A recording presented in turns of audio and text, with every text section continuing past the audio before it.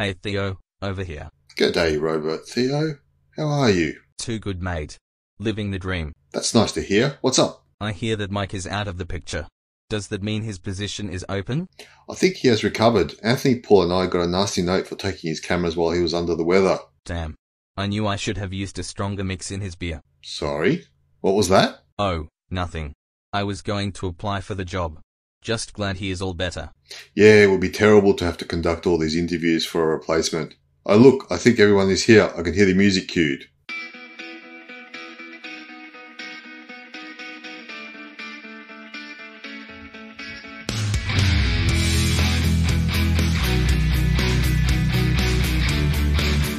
Welcome to episode 44 of the Camerosity Podcast, the world's number one open source film photography podcast. My name is Mike Eckman, and I'm back. Contrary to popular rumors, I am not dead. However, I am still strangely trying to locate some missing cameras that I thought I had brought with me to the last recording. Starting us off from the Gainesville, Florida Regional United States Postal Service office is Mr. Anthony Rowe. Have you got any packages yet today? No. we'll get to that in a second. But no. Next, from the state of Ohio, which is well known as the state with many train wrecks, is Mr. Paul Reibel. How is the drinking water by you? The drinking water here is is uh, if you like PCBs, it's it's excellent. Very refreshing. Also, a recent new homeowner is Mr. Theo Panagopoulos. Where are you going to be moving to, Theo? Oh, being in a different part of Australia, way, way away from Sydney. Bit rural, but that's still a few years down the track. And finally, we are happy to have with us a special guest host, all the way from downtown Chicago, home of Ed Debevic's and Connie's Pizza, is Mr. Dan Tamarkin. How have things been going at the shop, Dan? Just fine. Thank you so much. I'm so glad to be here. All right. So last episode 43 was our Graflex episode, one in which I was unable to participate. Uh, as it would turn out, I did not die. We recorded that intro like five days after we recorded the show. Uh, I had a wicked uh, ear infection and strep throat, and it was just painful for me to talk. So the guys had what turned out to be our most successful episode we've ever done. We broke every record we possibly could in first week listens. So apparently, you all have spoken, and what you want to hear is less of me. Or at least you dying in the middle of an episode, mate. Yeah, some some imminent peril to me, at least at some point. So uh, we'll try to deliver on what people are telling us they want to hear. For this episode, though, we kind of thought we've had a lot of themed episodes the last few in a row. We've talked about Pentax for two separate episodes. We talked about Contax, uh, American cameras. We had Phil Starrett and Mike Reitzma, two very knowledgeable guys on Argus, and we talked about Graflex last week with like 19 different people. So for this one, the guys and I thought let's just talk about some of the stuff that we've been doing lately uh, share with you some things we've been shooting, what we're working on. Uh, we invited Dan because Dan's a great friend of the show. He's been on a couple times before, always interesting. And we thought he'd be able to contribute to a topic we would like to discuss a little bit later. Dan Tamarkin is known for his like uh, purchases and and the equipment that he comes up with. But Dan, if you couldn't have a Leica, what is your what what's your favorite camera to shoot with that isn't a Leica? Oh, that's a great question. My favorite camera to shoot with that isn't a Leica is a Fuji six. Uh, wait, it's not a six four five. It's a it's a Fuji medium format camera that's a has a vertical viewfinder. I can't think of the name of it's it. It's a G six forty five. G six forty five. That's it. GS six forty I love that thing. It's got a sixty millimeter Fujinon something or other f four lens. It's fabulous. I love the viewfinder's vertical, which I thought Mhm. was really interesting. Um, I must say it's been a while since I put a roll through that bad boy, but uh, that's probably my. Now, if I didn't, or if I didn't already have that, you know, I held one of those Zeiss Icon rangefinders recently that they made um, in the I think the late '90s, up until just a few years ago, maybe five or six, five, four or five or six years ago, they discontinued them. Um, what a terrific camera! So I think I would have to go with like it's kind of a cheat, but I'm going to go with the Zeiss camera. There was a guy on. Uh, he just posted it on Facebook Marketplace. I saw it today. Well, Fuji GF six seventy, which is the folder six seventy camera. So it's Yes. a six by seven folder, like a Makina, except it's it's uh, slightly different the way the bellows work. It's a it's a drop bed type thing rather than the Makina, which pulls completely Pulls out. out. Right, Yeah. right, right. I got to say, I have a camera lust for the wide angle version of the Plaubel Makina. The you have one? Oh, I'm so envious. I lo- that thing is awesome. Now they made another one. I've only ever held that camera once. That's an amazing camera. They made another one that's just like a slab, and it's uh, a Yep. six seven. The W six seven. See, if it's not Leica, it's all. I'm just guessing at things, really. No, it's a Plaubel 67W. Yeah, and it's like a big slab of camera, and the Right. it's like you were talking about. The the bellows pop straight out, and it's got an 80 millimeter Nikkor, I think 2.8, and then the other one is a 55 Nikkor. That's hard to, harder to find and typically more expensive. And I don't even remember what the f stop is, but I don't even care. I I would buy one of those if it came across my plate in a mo- in a moment. There was one just sold at uh, at uh, an auction that we were we were bidding on it, and I was I was in it right up to the end. There was a, a the 67, which is the uh, 80 millimeter 2.8 Nikkor, and then there's a 670W, which is the wide angle version. That one went for almost seventeen hundred dollars, which was actually cheap considering you know how much I they. would if it's working, I would pay that in a heartbeat. Yeah, that was a good. That would have been a good buy at that price. Yeah, I think so too. The Zeiss Icon camera you're talking about, for anybody who doesn't know, this is a Cosina made rangefinder. Um, it was literally just called the Zeiss Icon. Some people call it the ZM. And do you have one, Dan? Or you just got a chance to hold one? I just I, one just came across in in my field of view, and yeah, I just got to hold one. Yeah. It's a great camera. Yeah, I mean, I'm aware of them. I've seen pictures of them, but you know, knowing that they're in, in what I consider to be the unobtainium range for me, I, I haven't really looked looked into it much. But as you were talking about, I quickly brought it up here, and wow, what a cool looking camera! I thought at first it was just going to be like a rebadge of like the Bessa, the the Voigtlander Bessa, but it, Right. it clearly isn't. It's got a really wide rangefinder base, so I'm assuming that that was inspired by the original Contax rangefinders, which had a really wide base too. Uh, it uses the Leica M mount, so it's you know it's going to support those lenses. It says here that Zeiss actually did make some new lenses for it in Oberkochen, Germany. So, um, wow, that is neat. Everybody that I know that has shot one has been just absolutely in love with that camera. Yeah, wow. Well, I gotta I gotta say that that Dan's kind of given me a bit of an opening here. and, and that that I, I had to do a bit of a soul searching this last week. You know, I recently through our our local resale store uh sort of blundered into a very nice 3F with a Summicron 50 collapsible. And I, I I sent it off and had it CLA'd and you know it's like shooting a brand new camera. Um and it's really delightful. And then I, I've got my uh my Leica M3 that I also sort of blundered in through Facebook Marketplace with the original uh Summarit 5015, which I got to say is probably the only Summarit 515 that has never had a cleaning mark on it. Uh, it is absolutely spotless, it is clear as a camera that came out of the patch last week. And you know, I, I I've, I've loved shooting these cameras, and I, I put hundreds of, of frames through the th- through the M3. But you know, at the end of the day, I've got so many 35 millimeter cameras, and I'm probably never going to be able to afford another Leica lens of the sort that I want. So I decided to do a bit of horse trading, and I decided to go with a uh, a, a fixed lensed viewfinder camera. So I no longer own any Leica at all, but instead I have this, and I'm holding up.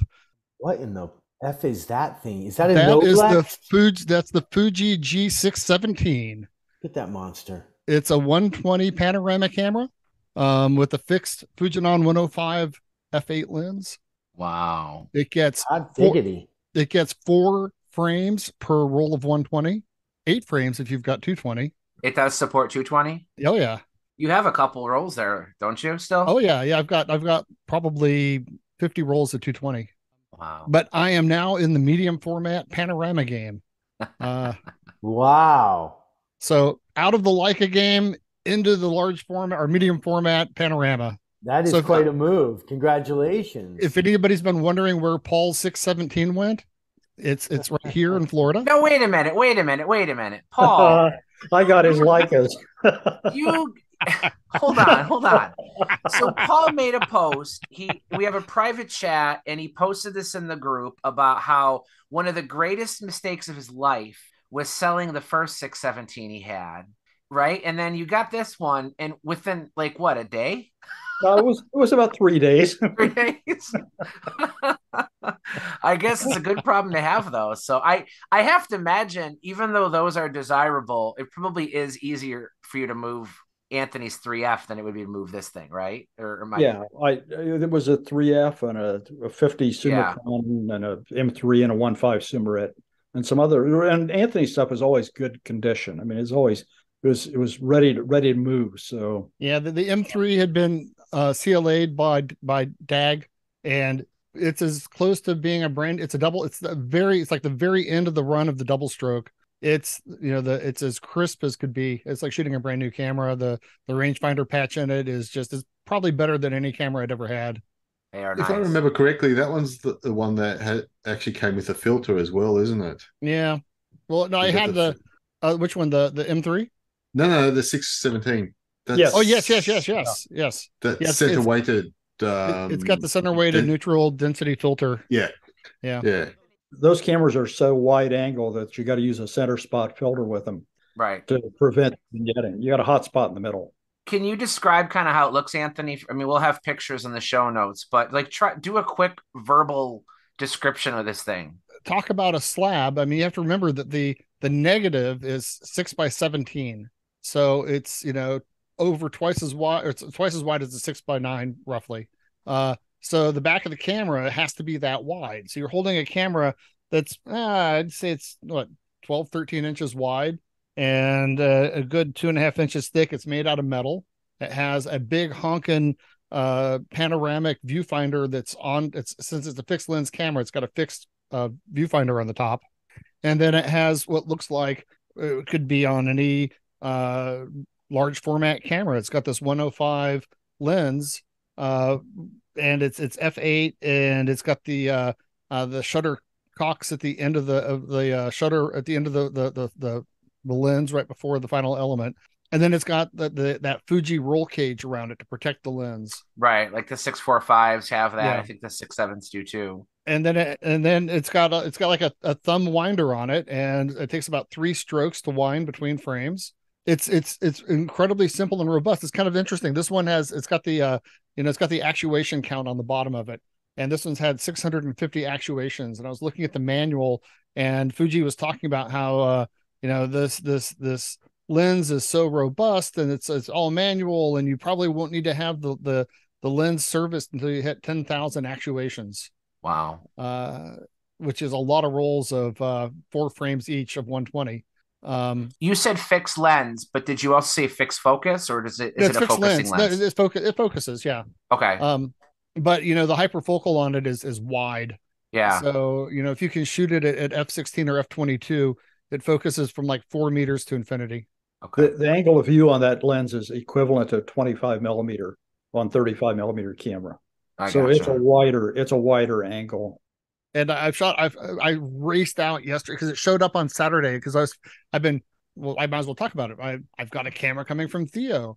Uh, you know, one of my my white whales has been the the Voigtlander Superb, the TLR from the 1930s, and Theo came across two in an auction in New Zealand, I believe Yes, that's correct. and he kept the nicer one for himself, but he was kind enough to have it shipped off to our friend Jess, um, who overhauled both of ours, and he shipped it from Australia along with some Vegemite, and it has been the most torturous postal experience. It took it almost three weeks to leave Australia, and then when it finally left, it, it like quickly went through UPS or USPS tracking in LA, cleared customs, and then just vanished into the ether where it just said in transit to the next destination for three weeks. It has just been in transit to the next destination. And then on Saturday, the same day that Paul's camera was supposed to show up, it suddenly I get a uh, a ping from the the tracking software that it's out for delivery in Gainesville. The Superb's out for delivery as well. But the Superb it never shows up. They never deliver it. They mark it as no. It just just says undelivered and then it just falls off the tracking system And I went down today to talk to them about this to remind them that they should have delivered it on Saturday, like they said. And they basically assured me, "Oh, I'm I'm positive it's on the truck and it'll be out for delivery today." And of course, nothing. So I've got no way of tracking it. And then Theo got a, a an automated note from the Australian Postal Service indicating that it may have been sent back to Australia as undeliverable. I mean, and this is literally the post office branch is five blocks from the, my business where it was to be delivered. I mean, literally, I, I That's so would walk there in 15 Yeah. minutes and pick it up. You know, they, they, they could be blackout drunk and still deliver it to me uh, because it's so close. It's literally three stoplights, take a right, and you're at my shop. Now, They've probably driven past your place with it in the truck. I but we haven't seen the truck once since since Saturday. Driving they- by looking for the numbers. You got the number? You got the number? Driving by, they can't see the number. Anthony owns a a, a, a, a high end uh, coffee shop. I don't really shouldn't call it a coffee shop because it's much more than that. But what you really need to do is is put a sign up. You know, U.S. U.S. workers drink free. right. There you go. Yeah. we're, we're in a building that's owned by the city of Gainesville. The, the the police substation shares a wall with us. I mean, it's not like we're some sort of hidden, Yeah. uh, you know, entity here. It's like they have to drive by it on the street. Yeah, it's just it's just been really frustrating that that Yeah. I, I'd, I'd really hope to be able to share the the superb uh, and post photos of, of it. But that said, out shooting with this has more than made things better. I mean, this this totally improved my week. And I I shot a roll of black and white and a, and a, roll of color through it already. And I got to admit that four frames is is is is is kind of intense, you know, because you're looking at like I I uh, you know loaded up a roll of color plus, and even as a cheap color film, it's like twelve dollars a roll you know so it's like almost the same price as shooting four by five So, so here's a question for you then. I've shot. Now it's funny you bring this up because I, for people listening, I had no idea he had this camera with him, and without even me standing up, I'll show you a camera that I I just started shooting again. I have the Noblex 135s. So, uh, it other than it being panoramic, it's really not not at all like Anthony's. It's a swing lens, it's 35 millimeter. But I will say this though that my experience of the panoramic cameras, I had borrowed your Horizon, uh, Anthony, and since then I've gotten one of my own. Um, I have that weird Soviet F21, that little box panoramic camera that shoots 105 millimeter wide images. Um, I've shot an X-Pan before, uh, one of those Minolta, um, I think it's called the PS. It's like a fixed lens 24 millimeter panoramic camera.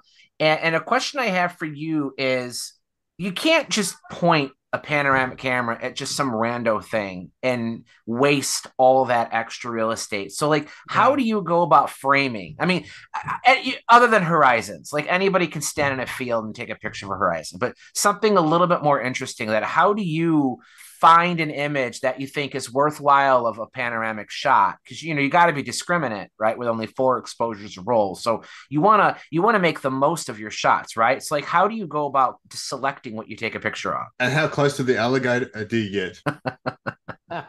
is that is that a loaded question or did we lose anthony? Anthony might be frozen. oh no Anthony froze up. anthony's dead everybody still has Anthony's cameras dead. I want the. I get the Fuji back. am i still frozen there No. you go okay how much Um, of my question did you hear I, I heard the whole thing and i but i missed what theo said something about the gator I'll say, and how close do you have to get to the gator with Pretty that close. camera? well l- let me first say that well i'll say two things about it one is one way to think about this camera as opposed to the other panoramic cameras is this is basically um, a hulked out version of the x-pan because it's it's a flat field you know, negative. So it's not the swing lens. So you don't get those sort of crazy distortions that you can get with the swing lens which i think are charming. I mean i always wanted a Widelux as well but i'm going to stick with this. So it's basically like it's, it's like it's like a x-pan on steroids but that also carries through in that i think it's much easier to shoot with handheld because on the swing lens cameras you know you have to hold it steady while the, the lens is swinging around. Right right. And you can get distortions especially if you shoot at the lower uh, shutter speeds which just means that the turret is moving more Right. slowly. This i actually shot an entire roll handheld with it uh, because it's got a really cool it's got the the the bubble level that you can see through the viewfinder and so you can kind of slowly rotate it back and forth until you see that you're perfectly dead center level then it's got a, a, a shutter button on the top or on the front. So I mean, you just you're holding on to it, you get it straight, and you're done. So it's much it lends itself much more to being handheld.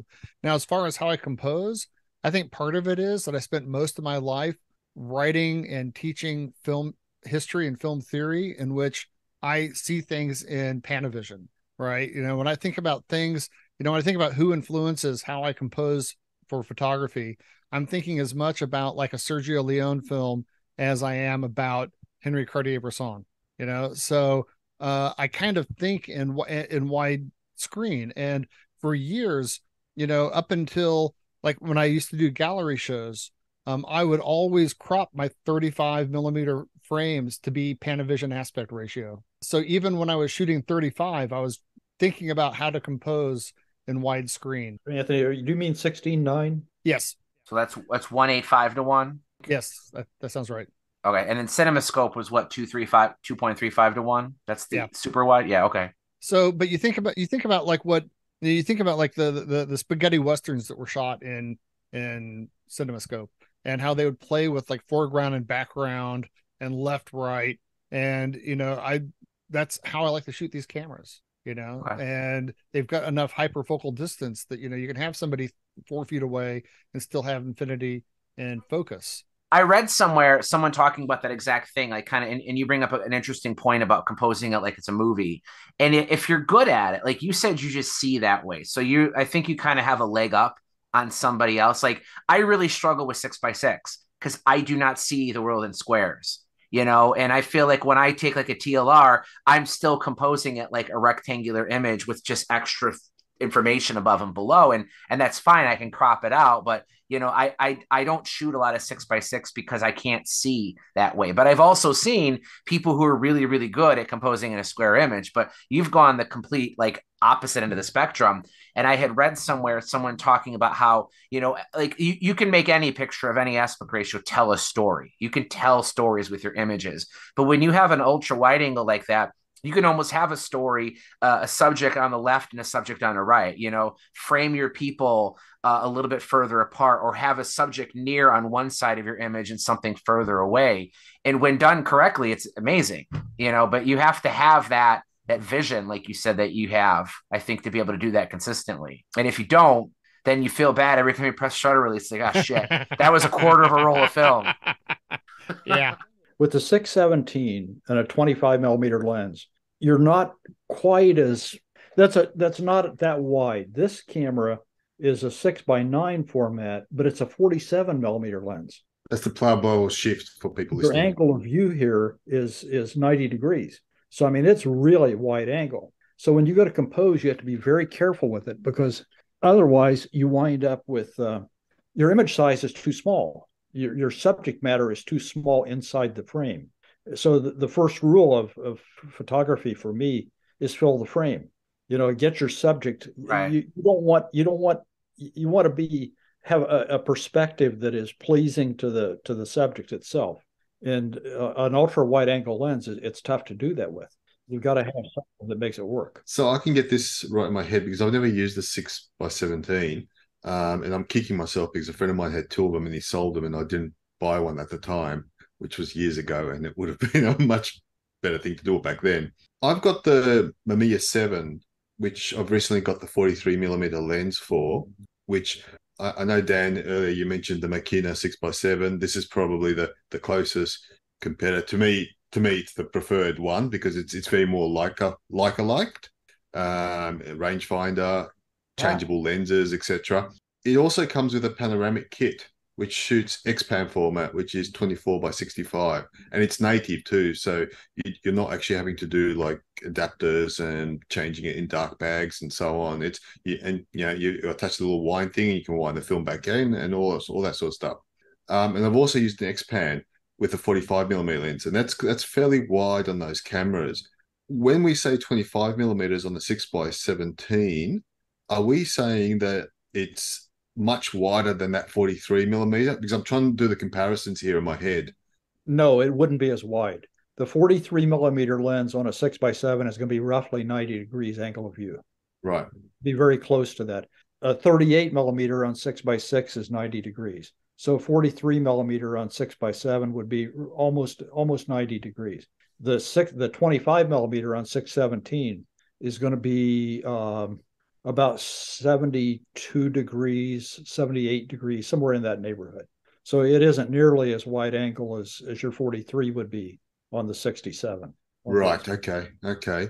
Because I, I must admit, when I do put that pano kit in, and uh, I haven't had it that long, I've had it since Christmas, it is actually something I struggle with to actually get a good perspective in terms of the frame I'm trying to, trying to get. It, it is something I'm not used to. So um, unfortunately, unlike Anthony, I don't have that background in. in... Well, and, and, I don't either. And and what you're talking about is has been my challenge because like Anthony loaned me his Horizon, and I struggled to finish the roll because I like again I felt bad like I'm not using this thing correctly, and I've had this no Noblex. I actually did shoot a roll in it once already, and I got okay images from it. I, I was up at Mackinac Bridge in northern Michigan, so you have a huge bridge, like that's perfect for a panoramic camera. But like once I got away from the bridge, like I I feel like I needed to almost like get a book of panoramic photography and like sort of be inspired, or maybe I'll just look at Anthony's pictures when he's done. But Theo, it it sounds to me like you and I have the same kind of hang up mm. that I, I'm not good at visualizing an effective panoramic image, and that kind of makes me a little gun shy in using some of these cameras, even though they're awesome. Yeah, my my default format that I like the best is six by seven. And you probably couldn't get further away from six by seven to panoramic right. because six by seven is, is almost square at that point. Well, I'm curious, Dan. Are you do you primarily shoot 35 millimeter or or digital equivalent? Yeah, almost exclusively. Almost. How, what do you shoot any film at all anymore? Or are you? Oh yeah. Um, do you? Yeah, yeah, yeah, yeah. I shoot. uh What am I? I got a couple of cameras on the other side. I'm shooting a a Leica two with a 50 millimeter lens right now, and also uh, some other camera I just loaded up with film at the office to film test it. I don't remember what it is. Maybe a, a 3A or 3B, something like that. Okay. So uh, on your in, in, your in your I don't want to call it a shop because I, it's far more than that. What do what is the percentage of film versus digital? Do you shoot? Do you sell a lot more digital than you do film, or is it? It ebbs and it flows right now people are buying more digital cameras but we have we field way more inquiries for film cameras so i think that what's happening is you know we what we do is we sell cameras that have already been cla'd and are all ready to go and they're working and warranted and we charge appropriately a lot of cameras out there are maybe just as good, but maybe not just as good. And they're really tempting to people when they're four, five, six, seven hundred dollars less. I totally, I totally get it. So I think that right now with the resurgence of film, as it's been happening, it's all kind of like you know arcs and uh, uh, peaks and valleys, and you know uh, sine, sine and cosine. That's the one I was thinking of. But you know, I failed math all seven years of high school. uh, uh, but, but, my point is that there is film is really really popular right now. So much that that supply is not meeting with demand at all. However, for cameras, it really ebbs and it flows. Lately, the last three or four months, it's been mainly digital. Is it like uh, you know interchangeable digital Leicas, or yeah. are you like yeah. the D-Luxes? You know, every now and then somebody walks in wants one of those things. They're they're terrific cameras. Okay. We, I I have two V-Lux cameras on my shelf, and they've been there for a year and a half. A terrific camera, year and a half. I have a C-Lux that I'm actually selling, I think, below my cost, or I'm trying to sell below my cost. Nobody cares. The D-Lux is the one to have if it's going to be any of them. It's a right. terrific camera. So that's the that's something that we we sell a fair amount of. It's not like not as much as the M stuff. I mean, that's what we're really known for. So M screw mount, vintage and collectible, and also SL, you know, and, and some of the other interchangeable stuff we sell a fair amount of, and it's terrific stuff. But mainly we're known for M. So when you say on the M, like the M, M8s, M9s, are you have you done anything with? I mean, how how cautious are you on M9s right now because of the sensor? Oh, I'm not cautious at all. All M8s, all M9s, they come in, they got to go to Leica, see what Leica says. Okay. That's what it is.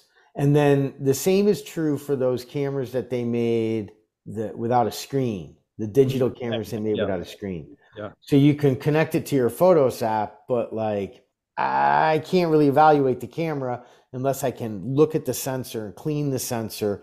And perhaps that can be done on the Photos app, but uh, I'm not trusting my Bluetooth connection while my shutter is open and a swab is on the sensor. So those cameras, M8, M9, and and M M8 platform and M9 platform and D platform. So like M10D. There was some other D cam. There were a couple of D cameras. That don't have screens on the back of them, and they're awesome cameras. But they just they have to go to Leica, and um, Leica offers a trade up program, and so they have a prescribed value if they do have bad sensors or if they have problems that can't be worked on. For example, the M8, they work on the M8, they just don't have any more screens. So if the screen, LCD screen, so if the LCD screen needs to be replaced, this is my understanding. This isn't the gospel. Is my understanding as of today. If they need a new screen, they're, they can't do anything with it. And they don't have an upgrade program for the M8. But for the M9 and M9 platform cameras, they do. Okay, so they, they okay they they won't repair they won't replace the sensors on the M9, but they will do a trade up on them. They do a trade up on them. And last I heard, you could get, again, this isn't the gospel. This is just as I remember the memo. You can get an M10, you can get an M, M11, you can get a Q2, you can get an SL2 with an M adapter. I think that's the, that's usually, but that's what they do, something like that. And if you subtract the amount of money that that costs from the brand new product cost, you wind up with what, what is ultimately the trade in value for that camera. Okay, right. Well, I had a, an M9. It's been about say eight or nine months ago that it had the original sensor in it. So it made me nervous about what I was going to do with it. I didn't want to sell it because I was I was concerned that it would. I, I, the sensor was fine. I mean, there was no no signs of any Yeah. delamination or any problem with the the the glass. But I sent it. I actually contacted Clarivision. Oh yeah, sure. They do the I they do the replacements, Yeah. and uh, I had talked to him about it. I decided I would sell it on eBay as is, you know, with the understanding that it had the original sensor. There was no problem in it, Right. and Clarivision bought it. So, they, uh, but when they got it, they got it. They emailed me back and said, you know, the sensor on this is fine. It, it there has no signs of any delamination, but you can't count on that. So, I mean, it's too bad too because the M9 was actually a nice camera. It's a fantastic camera. And- Yeah. And you, you said the last episode we talked to you that you really like the M monochrome. I have one right here. Or well, I don't know where my camera bag is, but it's around here somewhere. Yeah, I have yeah, I love it. It's magic. That camera is magic. I when they started swapping out sensors, I immediately I was like, swap this one out. Yeah. And yeah. the guy at Leica, the head repair guy at Leica, called me up. He's like, I've never seen a sensor this bad. He's like, Look, I'm going to swap this sensor out with one that's not as bad as yours until we get a new batch of new sensors. I was like, Sure, fine. And I was grateful for it. And so he swapped them out. I think he probably framed my sensor. they were like, don't do whatever this guy did. But it, it was a mess. And eventually got, uh, my monochrome eventually got um, the new type non corrodable sensor when I'm grateful. Can you explain a little bit like what how does the bad sensor like present itself? Like if I had an M8, like how would I know if mine's good or bad? Well, so firstly, it's it's primarily with the M9 cameras. M8s typically ha- Okay. M8s have different problems that are Okay. easily usually easily addressable. I mean, we just sent two M8s in to Leica. This is a digital camera that was made between I think 2006 and 2009, right? So this is an antique digital camera. For sure. You know, we sent them into Leica to get a CLA and they're going to be on their way back. They're going to be working fine. The M9 platform cameras, the on the sensor, in order to, I think, not have to have some sort of filter and to not have a moire effect, they put a very, very, very thin cover glass over the actual sensor, electronic part of the sensor. The cover glass is the part that you can see and the part that you can touch, although don't ever touch your sensor, the part that you would clean. Well, what happened was it was too thin. And so it achieved what they wanted to do, Uh, this is a highly technical explanation, as you can tell. They achieved fine. what they wanted to do, but it left the sensor susceptible to this corrosion, which presents as little dots in the sky. So if you if you shoot a clear blue sky at f16 at the lowest ISO you can manage, which presumably would be 400 or 200, something like that, and you see these little amoeba looking things, like little single cell, like little amoeba looking things, that's corrosion. Not every sensor has it, but it's a minor miracle if all these years later, uh, any camera didn't have it. Um, we had Gotcha. I'm not trying to sell anything, but I can't stop myself from saying I when they came out with the M Type 240, which is the model after the M9, I still had an M9 on my shelf. Nobody wanted it. So I sent it back to Leica. I had the sensor changed and I kept it on my shelf. So I have a brand new M9 camera for sale with a brand new non-corrodable sensor. So anybody Very who's nice. got uh, anybody who's got 99.50 to spend, give me a shout. All right. Or we can you can share it amongst us, and we can just promote your store all the time, mate. Right. That'd be great. Uh-huh. You, you know, we, should, we could do like a timeshare. I was thinking about this. It'd be the M9 NFT. there you go.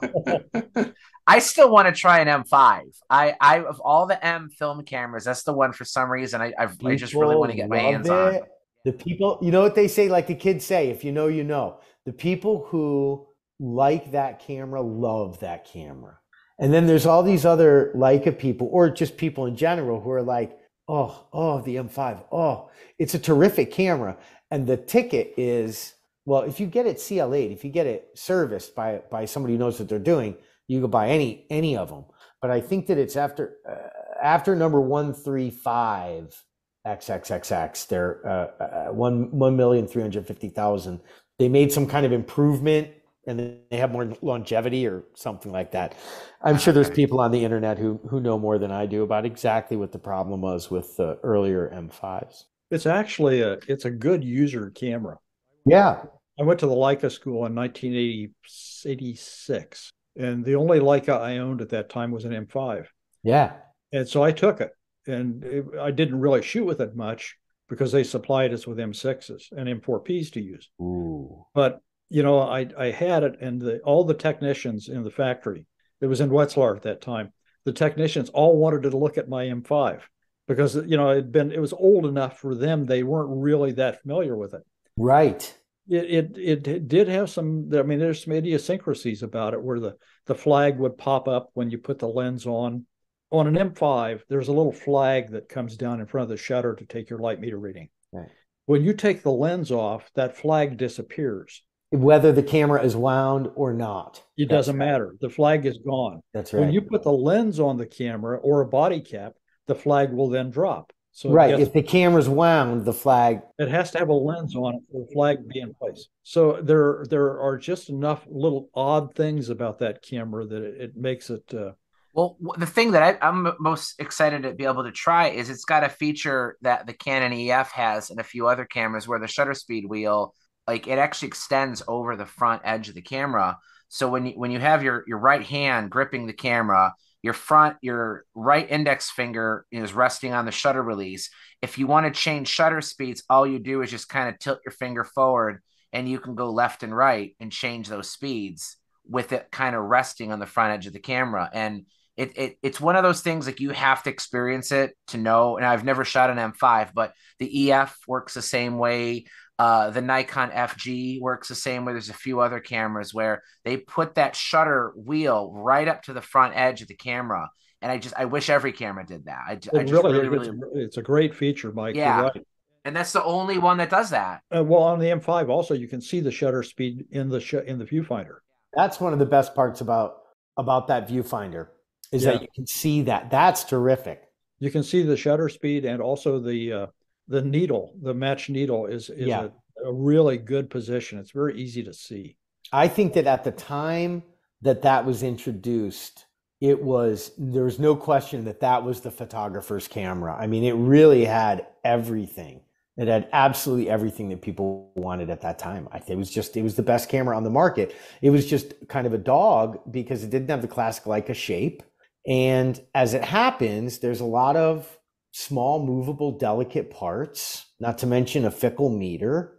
But it was, I mean, at that time, it was a terrific camera.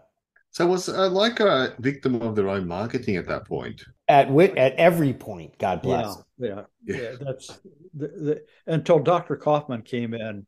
Right. Leica made uh, they made like a hundred consecutive bad business moves. I mean, they they really did. They they were their own worst enemy on on so many marketing aspects of, of the business. That's Oh. right. Dr. Kaufmann really, really turned things around. Well, he was a businessman. Yeah. And and and he wasn't he was he he loved the camera and that and it really showed because he put his money where his mouth is. Yep. He also was realistic about it. And uh when when he took over, they it wasn't long before they were back in you know going the right direction. Yeah. Well, it also helps to have uh, to be uh, partnered with Blackstone because if they see if they see profitability in your model, then if when they're in, you're like you're kind of you're in. Like that's a good. It's a really really good arrangement that they have, and you know the figures and the interest in the brand and and everything, the whole direction that Leica is heading. I think it really it's so different than it was when I when I was younger and when I first started in the business. So different. So it, I'm I'm glad to see it. I'm glad to see it. I think they're moving in the right direction. I really do. So, Dan, one of the reasons that I really wanted you to come on is it's kind of been a weird season of auctions. Uh, and you know, um, the internet means that that anybody with an auction house can can can reach a bigger audience than they used to. And there are there are auctions of, of different levels of uh, uh, professionalism, I guess you could say. And I know that um, you know you run your auction, and I know that I, you were posting photos on your Instagram of of going to the Illinois Auction Convention.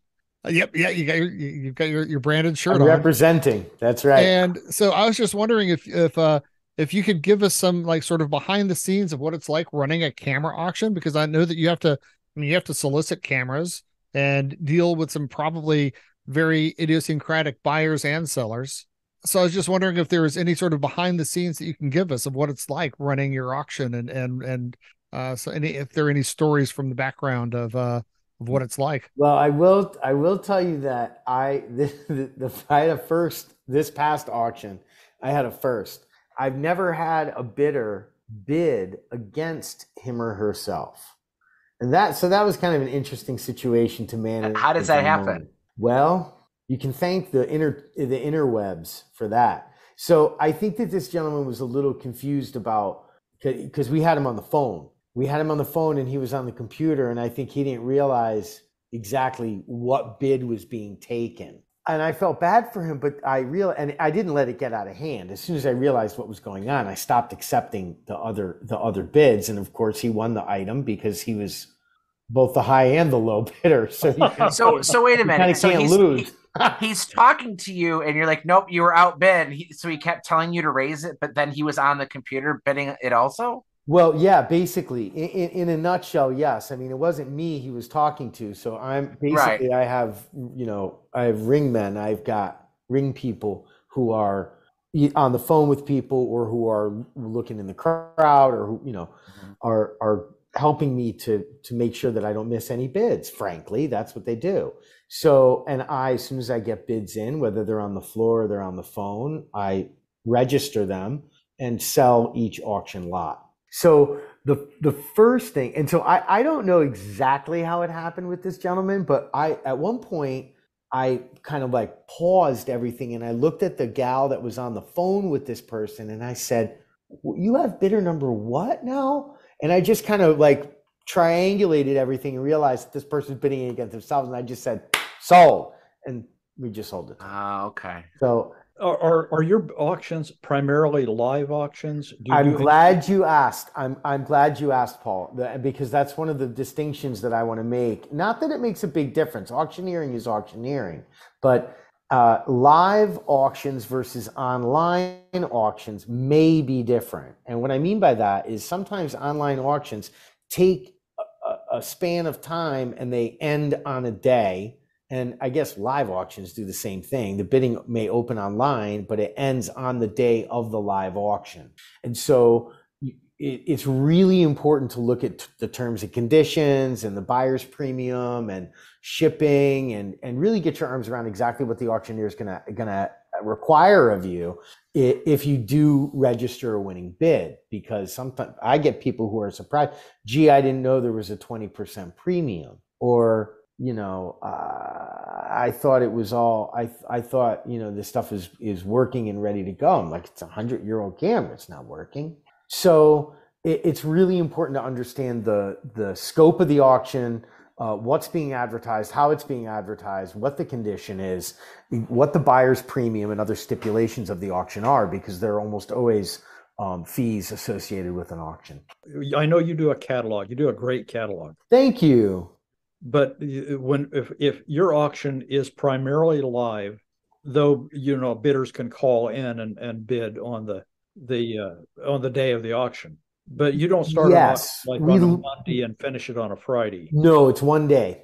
One day. It's one day. The online portion and the proxy bidding portion, where people might fax or email me their bids, that occurs in the weeks, really in about four weeks leading up to the auction. So typically, if our auction this past year was in November 19th of 2022, and we like to open the online bidding about four weeks out. And so by the middle of October, and I'm going to say October 16th or 17th, we opened the online bidding. Now, nothing gets sold. People can bid and they can do, people can do whatever they can place bids, they can retract bids, they can do all the crazy bunker stuff that they do. And then on the day of the auction, when the lot comes up, it gets sold or it gets passed. If there's no interest, then, you know, it gets passed. So we, we typically sell, you know, 60 or so percent of the lots in the auction. It kind of depends on the year, it depends on what's being offered. The, the reason this is of some interest right now, and, and I, we will we will not mention any names of any auction companies or anything like that at this point. I, I we don't need to do that. Fair but enough. You're probably aware there was a there was a large photo auction that happened uh, several weeks ago uh, of a collector up in northern Ohio. I tried to buy this collection, but it didn't didn't happen for me. Well, there were there were a lot of there was a lot of confusion in this auction because what happened was some of the lots were priced as a lot. So, for example, if there were four cameras, you made a bid, and the the price was whatever you bid for all four cameras. Other lots were priced individually. So, if there were ten cameras in the lot, whatever you bid was multiplied by ten. So, if, for example, we have a friend who bought. Uh, bought some little cameras that were, you know, he bid a hundred dollars for 10 cameras. He did not realize he was actually bidding a thousand dollars for hmm. those cameras. Have you ever huh. heard of an auction that worked that way? They called it a multiplier. There was a multiplier, but it wasn't yeah. across the board. It was only on certain lots. It was very inconsistent. Like it, it's not like all the cameras at the beginning had the multiplier and all the ones at the end didn't. Hmm. You literally had to keep opening them up and and it made no sense you know it, i've never seen that before but i don't do a lot of non ebay auctions though either huh well uh first of all first of all let me make some disclaimers i'm a licensed auctioneer in the state of illinois and i don't know about any other states laws okay but i can tell you that most states that have licensure require licensure for, for auctioneers follow laws that are pretty close to what we do here in Illinois, which is a little on the strict side. So it's possible that whatever state this auction was in, it's a little bit different, but I happen to have looked at their laws and they're pretty similar. So I have never heard of multipliers, but you may meet another auctioneer who said, Oh, yeah, sure, we use them all the time. I do camera auctions. I don't auction storage lockers or, or livestock or anything else. So it that may be a thing in other types of auctions, but I've certainly never heard of it in a camera auction. Moreover, it seems to me that it's very important and incumbent upon the auctioneer to advertise everything faithfully and, and accurately and clearly. And so my question, and so that being said, my question is help me to understand this. There's an auction lot and they have, say, nine more. and you can pick how many you want to buy? No. So picture, let's pretend it's eBay. You're scrolling through a list of auctions. Yeah. Every single lot has almost every one of them had multiple things in it. I don't right. There's like a bunch of different items that Right. comprise one auction. Right. lot. So you might see you might see a box that has 10 folding Kodaks in it. They don't even waste their time. They're just trying to liquidate this crap. Yeah, yeah, yeah. I, They don't even open them up, so you don't even know which Totally. folding Kodak it is. So it'll say whatever your bid is, and then there's a times 10. So if you put in five bucks, you owe 50 if you win. In in Paul's example, it was somebody we know who wanted one camera from a lot. So in his mind, he was like, What am I willing to pay for that one camera? I'll just buy the whole lot and then Right. everything else I don't need. What he did not realize was the price he put in his head that he bid for that one camera was multiplied by 10. I get that part. I get that part. So, all right. So there's there's a there's a picture. There's an auction listing, a lot Uh, that has say seven or eight folding Kodaks, ten dollars. Are you saying that there's four or five or seven or eight of these lots available, or no, No, no, no. It's, it's one lot, and but you're paying. The, the, the prime example was, and, th- and this is something that that really uh, was the most egregious example. One lot had four items in it. There was a Nikkor W 35 millimeter 1.8 lens for the rangefinder camera. Yeah. sure? The black you one. know that's a that's a valuable that's a valuable Pretty lens, sweet. Yeah. eight hundred dollar thousand dollar lens. Yeah. There was also in that lot uh, of an L Nikkor enlarging lens, There were two L Nikkors, I thought. two L Nikkors, and something else that was really cheap, Well, like a no value. add-on fisheye lens or something Yeah. like that. So the bidder bids eight hundred dollars. Well, because that was one that was priced per item, his eight hundred dollar bid was entered at thirty two hundred dollars. Yeah. Wait, because wait, hold on. Because there's because that lot had three objects in it.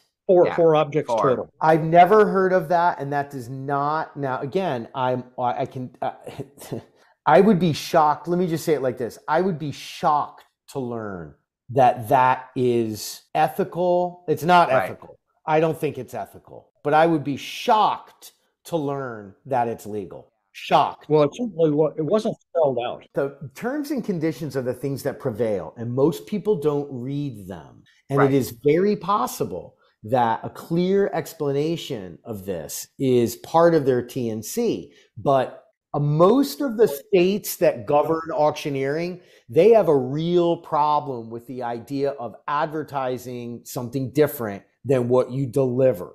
And almost any time anybody does any auctioneer does anything remotely remotely funny um, or potentially malfeasance. They're on them like white on rice. I mean Yeah. i'm telling you it, it and i can tell you that this uh, that the auction house has they have a license uh, everything else is on the up and up. So i wa- can't help but wonder if there's Right. something in that state's law or and or in that auctioneer's terms and conditions that allow them to do that but it sounds awfully fishy to me. And i think if the preponderance of your buyers are saying wait a minute something's not right then where there's smoke there's fire We've heard this from a couple other people. I remember even asking Paul at the beginning because when we first, because Paul and I both went in a bunch of stuff.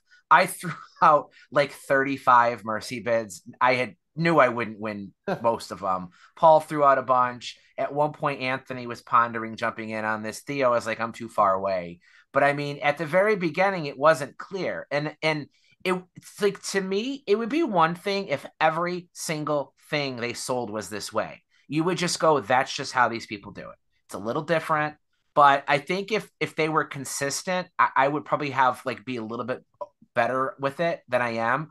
But like you'd be just scrolling, and this one would have a multiplier, this one wouldn't, and they would, and it would be like picture a box of cameras here, and then you scroll to the next one, another box of cameras, but the first one uses a multiplier and the second one doesn't. There was like no rhyme or reason. Well, there were there were there was more hinky than that. I mean, like there was a a a, a lot of lenses where it was just like a box, and all most of the lenses were either in a lens case or in boxes, and they would not list like what all was in the lot. They just said they're they're either lazy or they don't know what they have somebody spent a lot of money on one of these lots, open them up, and what were in the boxes were not what the boxes were for. Like it was supposed to be uh Nikon rangefinder lenses, and it was Yeah. like auxiliary lenses for some you know, like a pocket camera. Instamatic. There was one that had an Instamatic in a box that was supposed to be a Nikon or something. Yeah, I'm really sorry to hear about that. It really stinks when this kind of thing happens. yeah. I, it was. It, uh, I think it's a black eye on the whole auction. Well, it world. is. I think it is, and and I'm particularly peeved about it. Although it's not in my home state, and it's really none of my darn business. But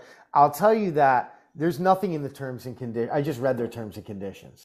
There's nothing in it about. No, that. there isn't. I, I did There's the same thing. in it about that.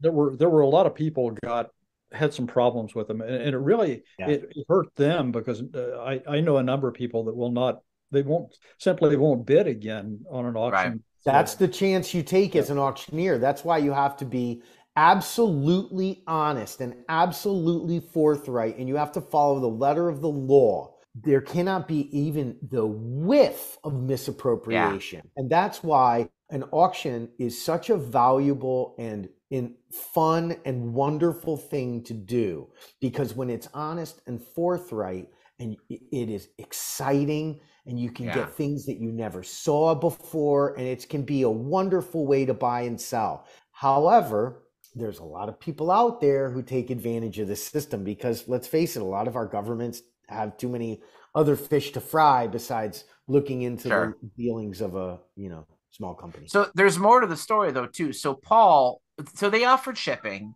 which most do, but you- you're going to get raked over the coals when you do shipping, especially with multiple lots, because a lot of times they're going to charge you a fee per lot, or they're going to charge you handling or whatever. So uh, knowing that it was, you know, in in Paul's state, uh, myself and a few other, you know, friends of the show had Paul use his locality to pick up this stuff. So describe Paul what it was like when you went there to get your stuff. It was in a it was about a three and a half hour drive each way for me. It was uh, about six miles from East Palestine, Ohio, which is where the train derailment was. Oh, jeez. uh, south of Youngstown, and it was it was in an old shed that had been a a semi truck repair facility, and it was absolutely filthy inside, full of dust and and uh, was really nasty. Well, I, I they had my stuff already, and so I went through over my stuff, and they had two boxes that were had the wrong items. I mean, it, it simply wasn't the stuff I bought. So it took a while. They got that straightened out. I picked up the other stuff from Mike and and something for two other guys. This was really the worst story. One of the boxes I picked up was one lot, a box that had maybe 20 lenses in it. When I got to the place where I was meeting the guy to give him his box, he looks at it and the one item that he bid on was not in the box. It was in a particular area in the box. He knew where it should have been, and it simply wasn't there. And it was the only item in that box that had any value. He took care of it with the uh, auction company, and and they did resolve it to his uh, satisfaction. You know, it's it's awfully easy to since we don't know how hard this is for somebody to do, but it was very poorly managed. It was yeah not. i'm sorry to hear that that you know it, it is to go back to the like where where the conversation began in the and like what it takes to put on an auction it's a lot Well, I, I wanted to ask you how how much time are you personally spending like the year scouting things, or do people approach you and say, "I want you to auction my item for me"? a little bit of both so i i spend a fair amount of time scouting and calling for consignments and picking up consignments and trying to convince people that uh, our auction house is the best place to sell their rare leica or or whatever and we also get people that know the name or want their camera to go to an auction that's not uh, just basic you know uh, storage locker kind of auction they wanted to go to a fancy camera auction and so we do spend a fair amount of time both seeking out and fielding calls for consignments. And basically my because we have an annual auction that occurs in November with usually more than 200 lots. Typically it's 2 to 300, sometimes more. Each lot has to be handled, tested, inspected, described, fact-checked, photographed, listed, proofread, double checked, triple checked, and then we take the catalog to print. Every year there's typos. Every year the toilets explode. It's just the way it goes. I was going to say, and, and you have time to run a retail shop on top of that. Yeah, well, it's not just me. I've got help. but basically, my uh, to do the auction in November would say 250 lots. Typically, I begin the process in the beginning of July, right after the Fourth of July holiday. We close consignments unless somebody has like a number 102. We close consignments at the end of August to deliver to the printer right after Labor Day to have catalogs in hand October 15th or thereabouts a month ahead of the billing. Uh, pardon me, a month ahead of the online. Uh, uh, so the online has one month uh, before the auction. Your auctions, you and it's really cool that you do this. That you, uh, your past auctions are still online. We have a number of those, uh, number of that stuff online on our website. Not all of them, but no. But we, we you have a one of your uh, regular buyers is a good friend of ours that we will refer to him as Von Cabbage. And uh, you, you, you Mr. X. Yeah, Mr. X, Mr. Von Cabbage. Well, uh, Von Cabbage and I were yakking one evening about uh, about something that he bought from you at one of the Uh-oh. auctions. And, Uh-oh. and he, I said, well, he, he couldn't remember what he paid for it. And I said, well, let's go look. So I found the auction, found the listing, told him what he paid for it, and he, then he he shut up.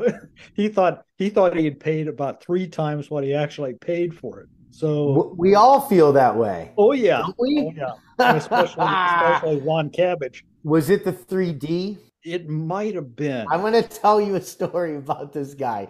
I love this guy.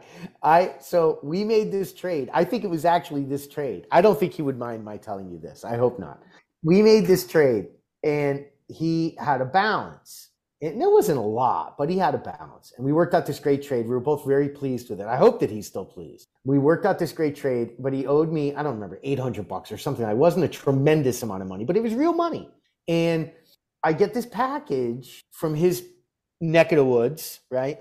And I don't remember seeing his name, but I remember I was like, oh, I know where that is and I open it up and it's this old camera. I mean, really old camera, like a little box camera with a little brass lens with no optics or anything in it, right? Just like a little box. Like you would look at this camera and be like, oh, and you just throw you throw it away. I mean, it's not even there's no name on, there's no nothing.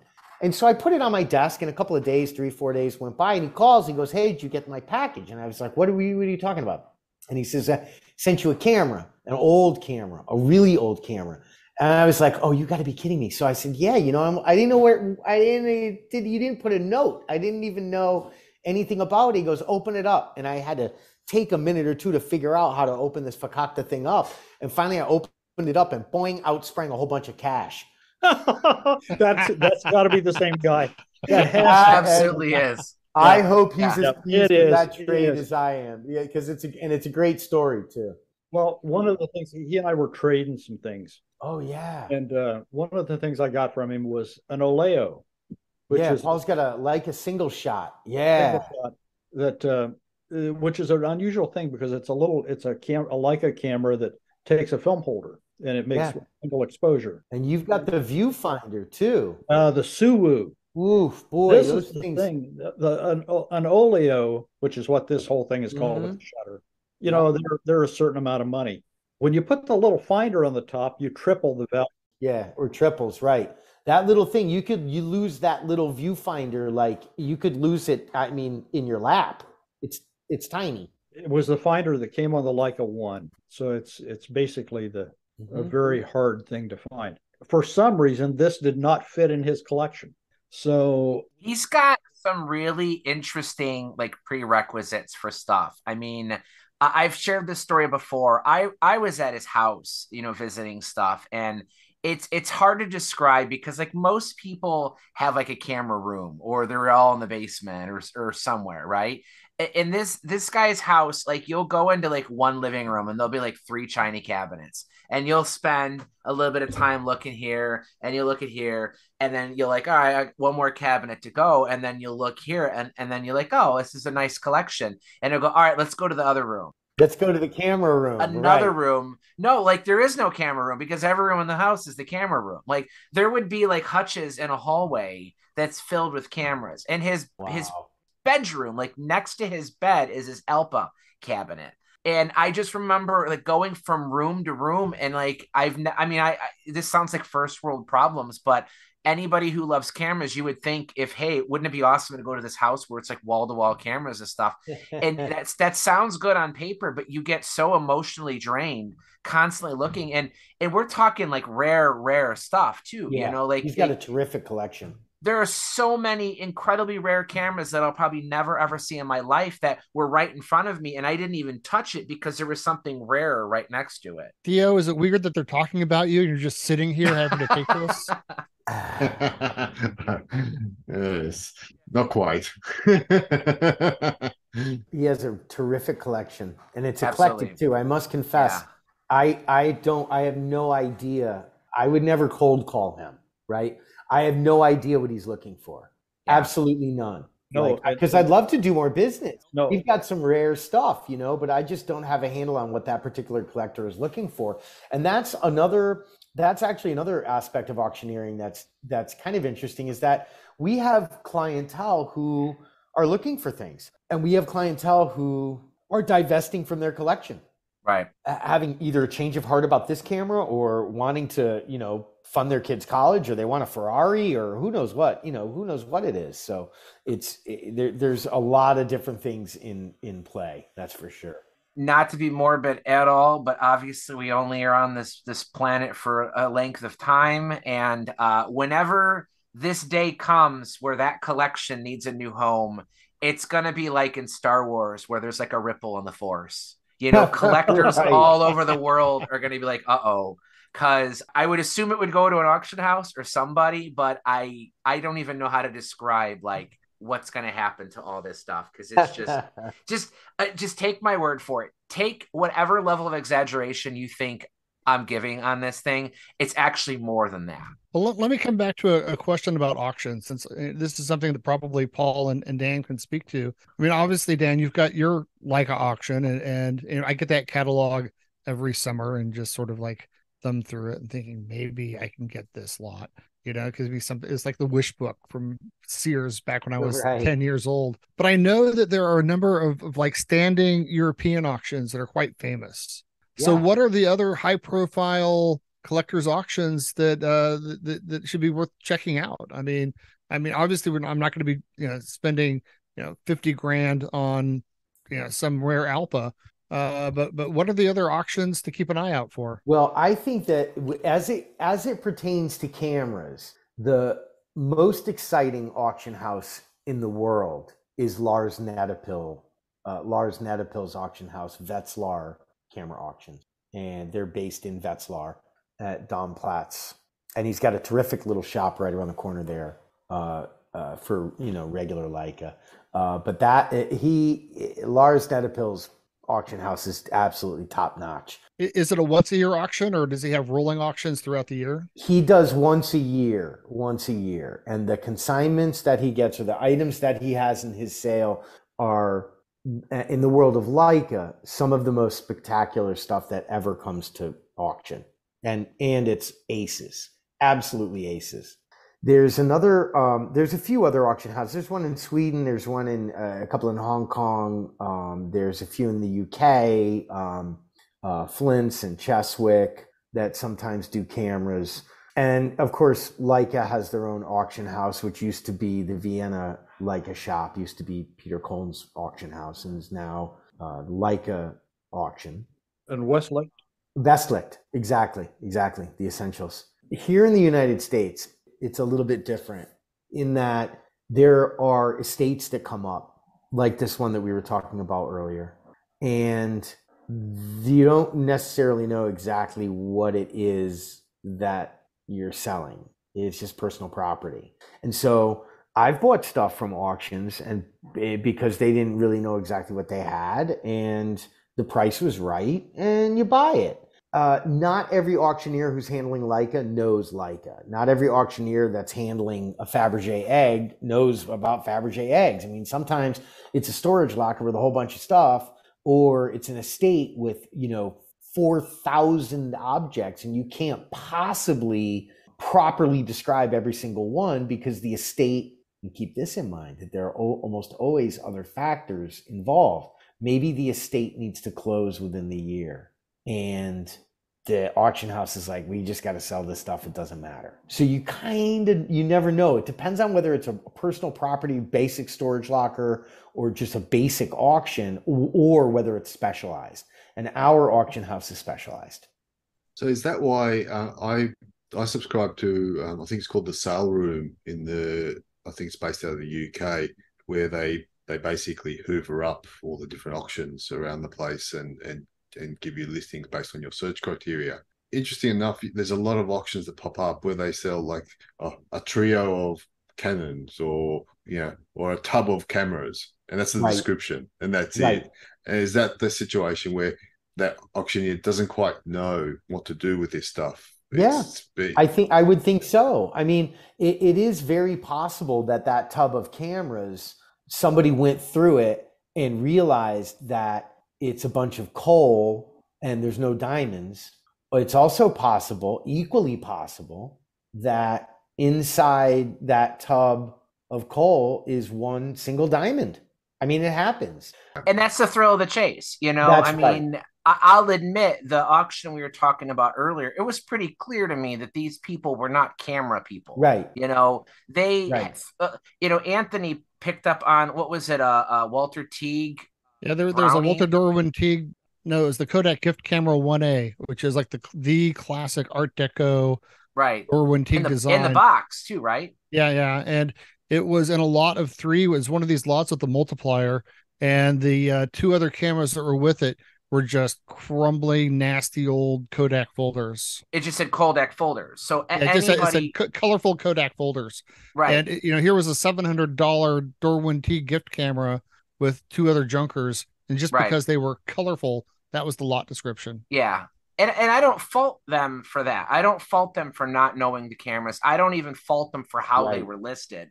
You know, the multiplier, things missing from boxes, and then them giving this illusion of a professional auction house and then having you go to a mechanic's garage to pick up you know your you know what for what some of these people were paying was quite you know quite a bit of money you know i think is what bugs mm. me but like like i love the thrill of the chase there is nothing more exciting than getting that box of junk and digging through it and be like oh that's how you found that Contax adapter paul wasn't it wasn't at the very bottom of a Yeah, box I found an Orion adapter. yeah so camera bag. I was telling the guys there was there was a, a lot that ended recently. I'll have to share this in the group because it is the worst pictures anybody has ever taken of a camera. I mean, it, it was like super close up, blurry. You couldn't make out even like barely a part of the camera. You had no idea what it was. And this person said Olympus, Zuiko. I could tell it was a folder.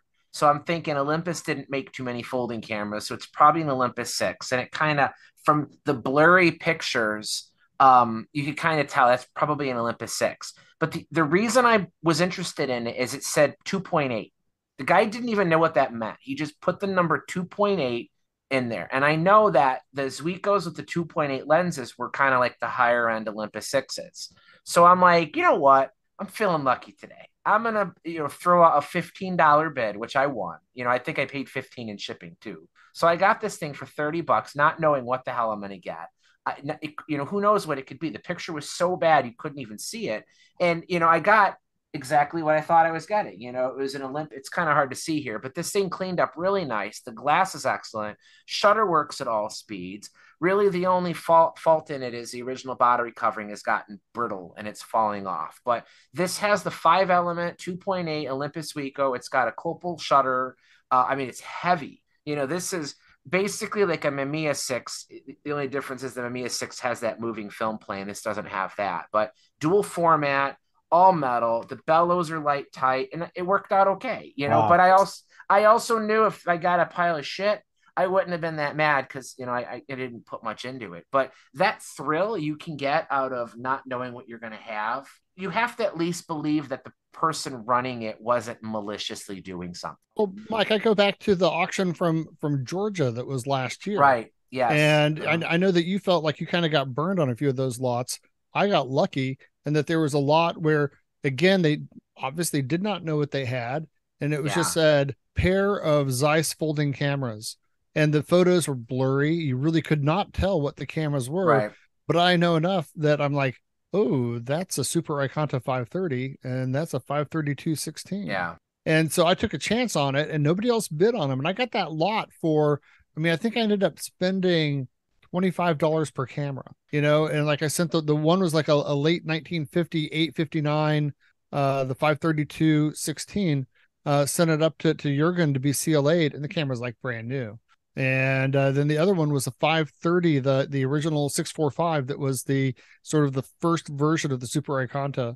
And yeah, I mean it's it's from like 1927. So yep, uh, we've got one over here with one. uh, Yeah. uh, mine, mine's older than that. It's it's got it's a slightly different design. It's a little bit more compact. It was the first Super Iconta, and you know it shows the wear, it shows the patina of being a 1920s camera, but it also works like clockwork. And so I ended up with with two Super Icontas for 50 bucks. Well, in the case of that auction, any feeling of being burnt was entirely my fault. I overbid on things and I did not read or fully understand how they ship stuff, which they did have in their terms of conditions.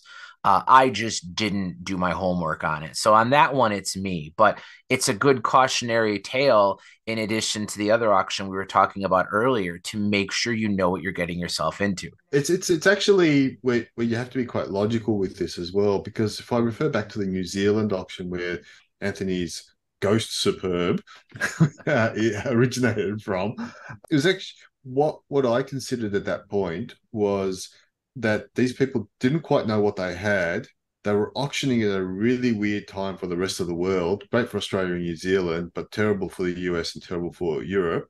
I just assumed that every single camera I bid on, and I think I got like a, about 10 or 12 cameras out of that auction, was going to actually require a, a service. Right, right. And so I ended up at bargain prices for you know two superbs, a couple of super, super.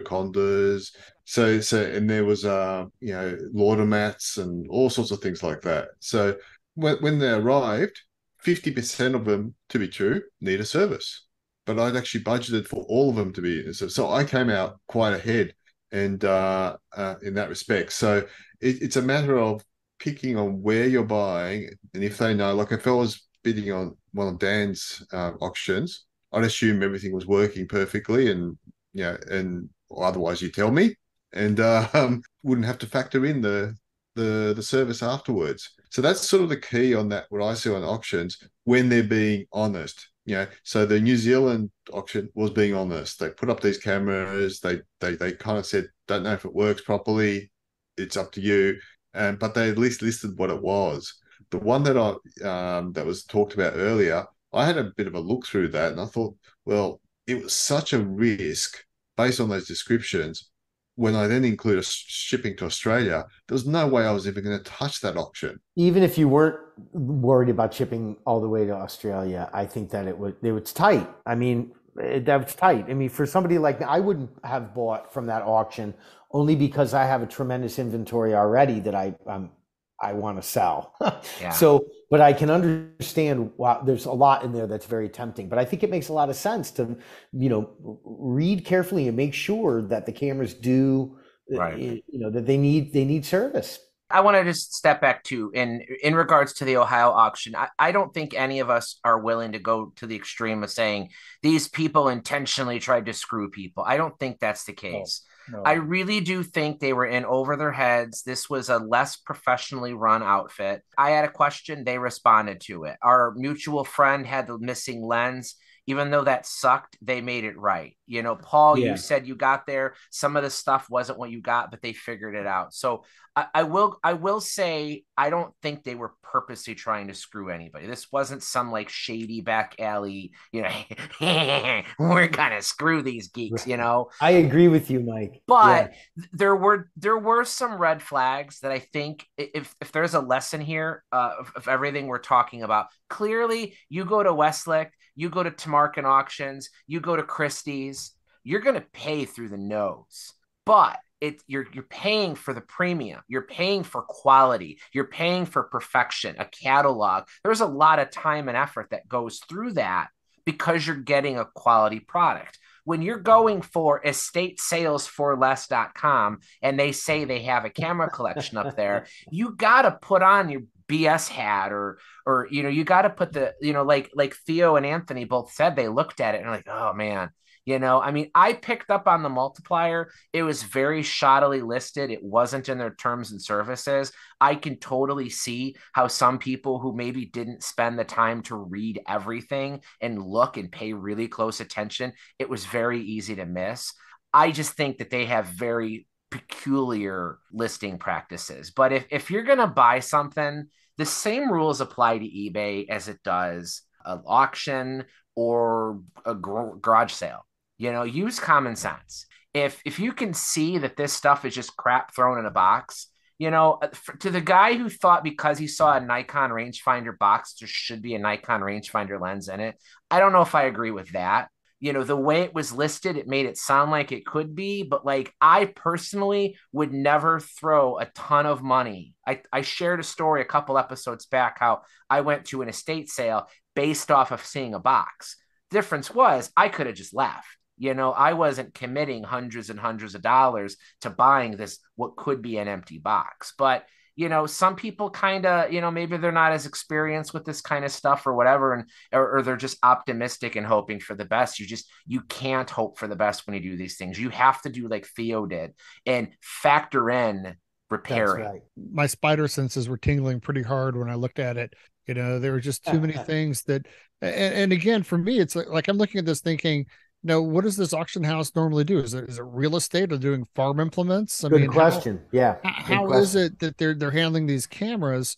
Because there was there was just too many things that could easily have made it a pretty seamless auction that they just didn't do. You, you were talking earlier about where does stuff come from? Where do, where does Dan get his stuff? Where do I get my stuff? The thing that that, that makes it happen is that you have history. Stuff begets stuff. So Dan's father right. had uh, started the the thing and and had such a great reputation that you have a known name and people call you. That's right. So that's where it all comes from, and it's all based on it's all reputation based. So it it comes from buying and selling. You have to have the reputation, a good reputation in both ends of it. In my case, it's a little different because I'm in such a small area. I had very loyal customers. So the people that I dealt with over the 33 years come back to me and say, okay, I need to do this or I want to do that. And, um, right. It, that's the way it happens. I mean, it just, it feeds on itself. Yeah. I mean, one of the things that we, we, that we always do is we write a handwritten note. Somebody buys a camera from us. We, at the very least, we write, you know, thank you and sign our name, and people will keep that receipt with the camera. And yeah. then when their heirs or whomever doesn't know what to do with it, they give us a call. That's how Paul's gotten a lot. You get About people. 19, 1985, the uh, president of the Leica Historical Society of America lived in the area. And he was a customer of mine. He bought a lot of stuff from me. Well, he passed away. Jim Lager bought his collection, except for a couple pieces. Then, and the guy only had he had one daughter, and that was all. That was the last of the family she called me to see if I wanted to buy a few pieces that were left over. And I said, uh, yes, I'd love to. Well, we made appointments three different times and she backed out on getting together three times. And it was, I found out later she had some, some emotional issues that were really not, it wasn't her fault. She just, she just had some problems. And then she passed away. And I saw her obituary in the newspaper. And I knew that she had these cameras, so I contacted her rabbi and uh, said, I, I, just have to say, I know she she has no family. There's nobody. There are no heirs, but there are going to be some cameras in her house that should not go to Goodwill. They they should be, you know, they should be sold because they have great monetary value. About two weeks later, I hear from the the attorney who's handling the estate and says, "Do you want to come look at these cameras?" So I went to look at them, and the first thing I see when I get there is an LHSA kit, the 25th anniversary kit with three lenses in the original wooden case. It was just there was like four or five things that Lager had not bought that showed up uh, in in the estate. They had just he been probably didn't know that they were available at the time. He would have bought them. Yeah, he did. It was it was it was at the end of, of his life, and uh, and he just he decided he wouldn't sell that. He'd hang on to that. Oh, I see. Yes. So I mean, it's just it's just one of those things that uh, if you do things right and you you stay after it, it comes back to you. That's right. I want to share kind of a, a, positive story. There's another like big lot of camera story that's been making the rounds of all the Facebook groups.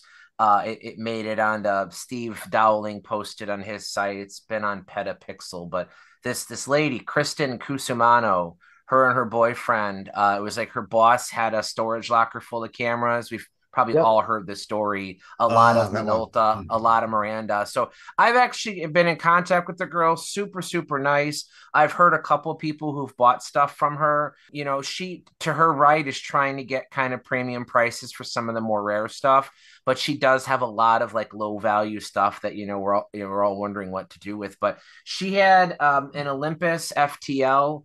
Um, I had one. I wanted to get a second one that I just saw there and um, I've always wanted an, um, a Minolta SR2, and she had a bunch of those too.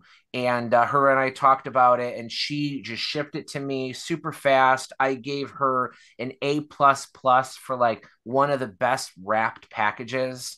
Like stuff was like shrink wrapped and bubble wrapped, and then taped, and then like padding and then the box was like covered in plastic and then taped on top of that i mean this thing could have went into a canal and it probably would have been fine. So um, you know, there there's some really good people out there. You know, there's some good option or um, options for buying stuff.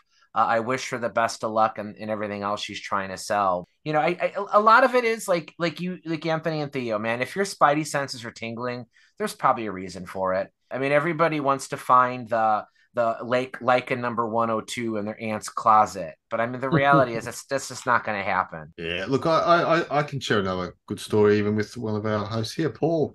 I bought, I recently bought some cameras off Paul. Unlike the shipment I sent to Anthony, he shipped it. I bought it on the Monday. He shipped it. Uh, it arrived on the Friday. Um, so that's from Ohio through to, to Sydney. Everything, you know, I obviously know Paul. So um, really trusting what he sent sends me, and yeah, I, I, couldn't be happier with the with the cameras that arrived. I mean, they were, superb. You know, this little Contessa 35, um, exactly as it was described, just what I've been looking for. So it's yeah, it's it's a matter of understanding who you're buying from and their reputation which yeah. uh which makes a huge difference. So so you got that fancy shirt. Theo um d- didn't you get any new shirts recently? I don't see you wearing it. Hang on a second. So we had some camerosity podcast t-shirts made up once and i made them i made them for the guys. Oh i love it. We did this last summer but i i, I haven't worn it yet. Turn, it, turn it around theo. Yeah turn it around. I put a qr There's a code qr on code on the back of it what a great idea. I wore mine to the camera show and people were taking taking pictures of the QR code and getting to Mike Eckman's website. What a great idea. Dan, I had that shirt on when I came to visit you last summer. I don't know if you remember, but I was you wearing did. that exact shirt. Yeah. That's right. I remember yeah. now. it's Maybe taking... we'll have to make more it's taken what how much eight months for it to get to me? But uh, it finally got to me. So i need to order something from paul. I had them made up around a period of time where theo was making almost monthly purchases from paul. And i was like oh i'll just send it to paul. And then the next time theo buys something he can just use it as padding or something in the box. And that that begat a dry spell from theo wanting to buy something. So it uh it kind of waited there until he had his next purchase which was just recently. So uh, what else did you get from Paul Theo? Isn't there anything else there besides yeah, the There's a couple of things. There's um this beautiful little Ansco memo.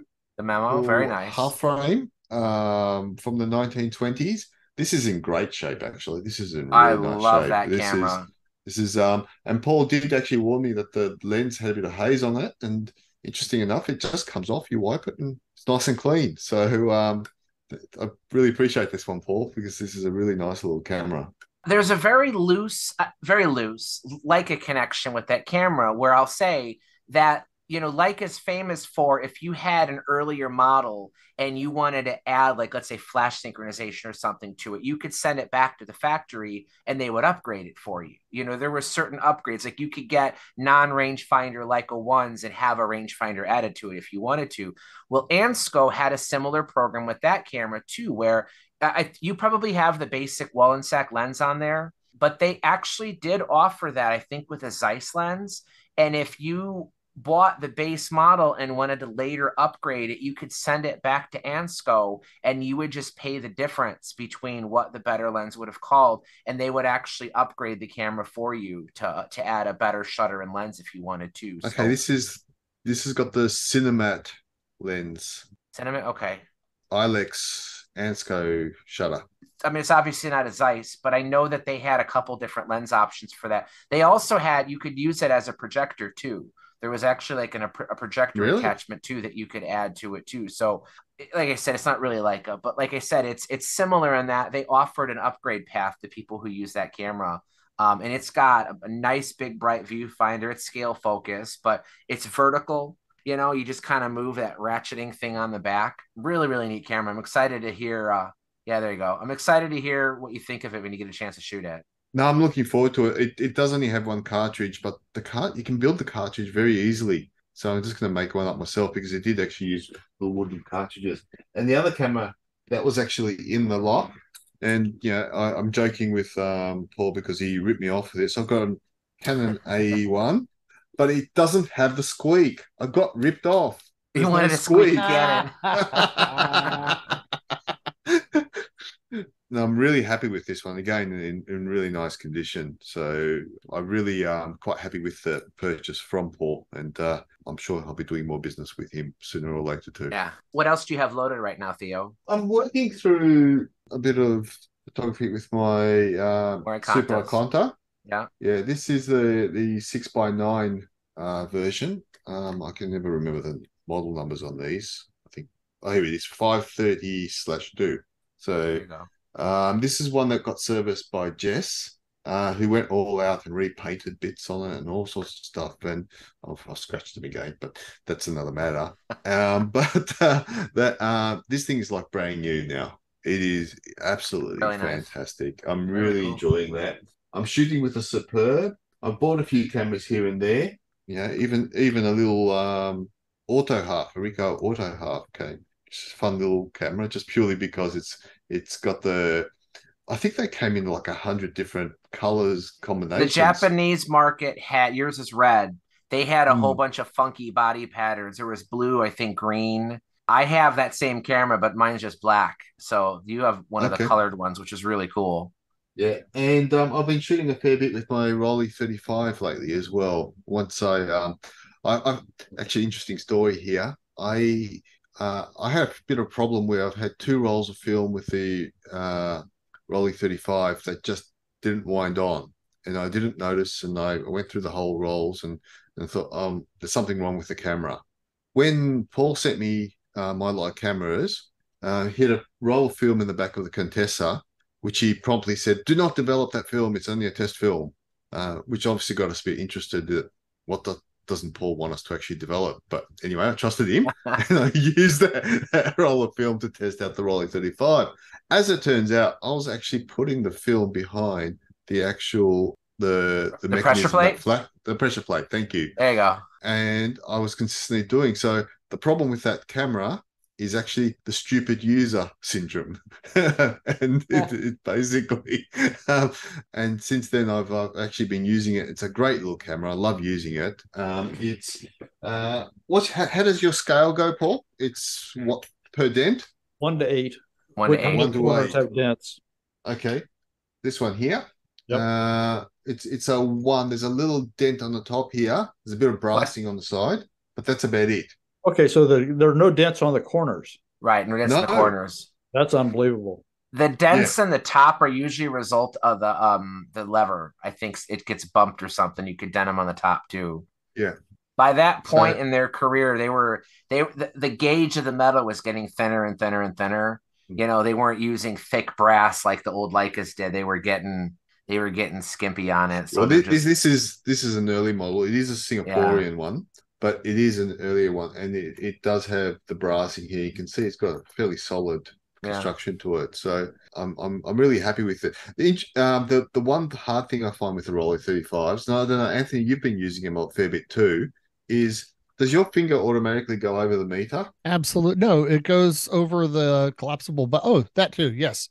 No, my Yes. problem with it is that I always think that I'm hitting the shutter release and I'm hitting the button That for ex- yeah. extracting the lens. I've done that. but they're beautiful little cameras and uh yeah once you get used to the scale focusing it's uh it's perfect. Uh so so that's mainly what i've been shooting with lately and uh the mamiya 7 so i've been throwing you know a fair bit of film through that because i kind of figured that that's you know, like that was my holy grail camera and i got it and i haven't used it enough. So um, the last few months there's there's been a fair bit of film going through that camera just to to make sure i enjoy it the one other one that I've been using too is actually a Nikon F FE. I took it on holidays with me. What a great little camera! I never realized uh, because I love the FM2N, and uh, I think it, is it Anthony. You you enjoy that as well, don't you? Uh, with the I've got the FM2. Yeah, FM2.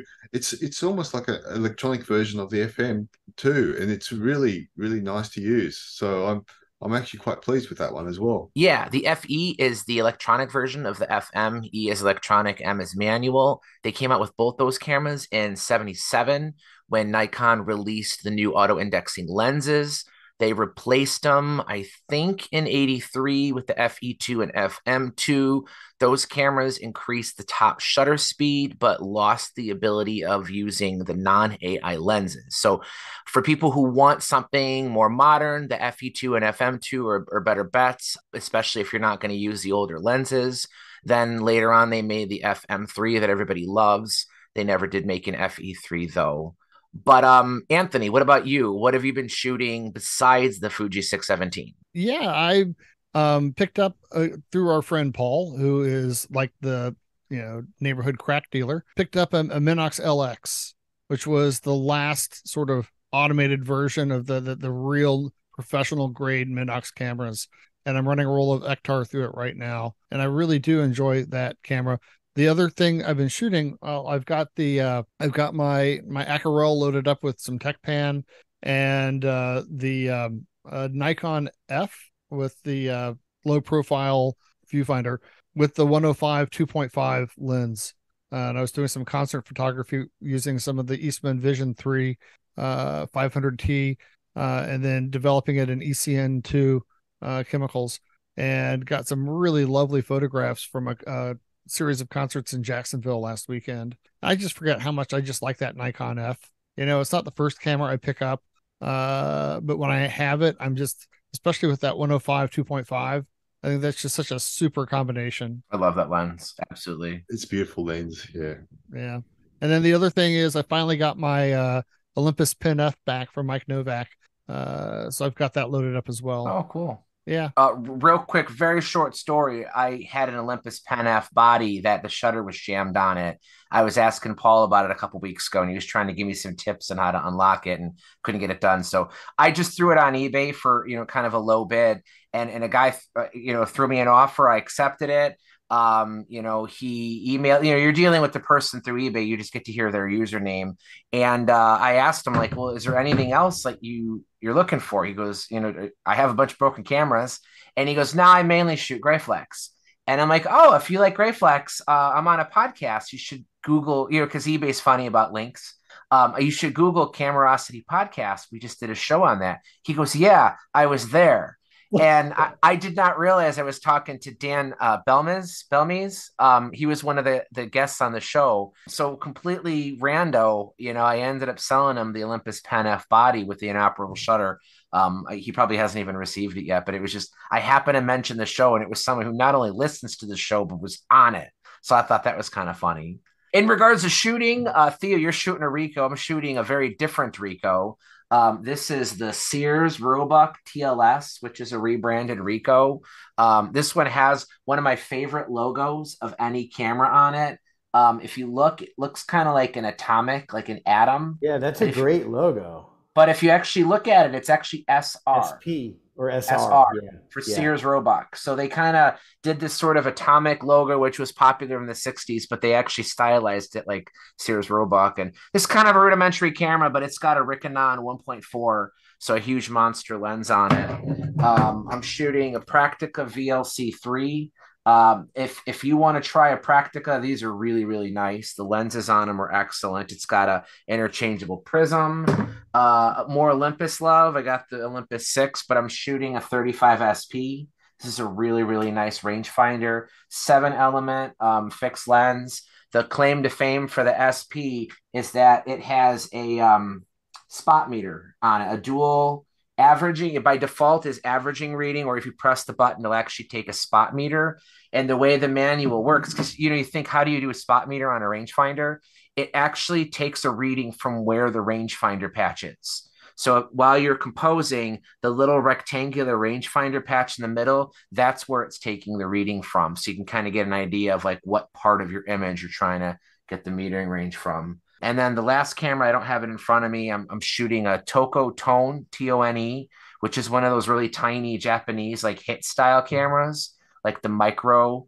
Uh, they made like thousands of different ones of them. But um, the, this one, the reason I chose this one is it actually has a three speed shutter. You can choose three different speeds. It's got an adjustable diaphragm and a full focusing lens. So um, it's a slightly upscale version of those Japanese hit cameras. So I'm eager to see what kind of results I get from uh, the hand cut 17 and a half millimeter film that those use. Paul, did you have anything else you wanted to throw out before we go? No, the only thing I'm shooting with is uh, in, in Dan's honor. I'm going ah. to shoot with this lens on uh, Anthony's M3 uh, because I don't. I, the, I have a uh, 50 millimeter black Wetzlar that I usually use on the M6, but I've got this Summilux that uh, this camera body yeah. is the this is the Barnack M42 gold camera. It has a 51.4 Summilux on it. The body has never had a roll of film in it, but I've used the lens a lot. Yeah, it's a great lens on various other cameras.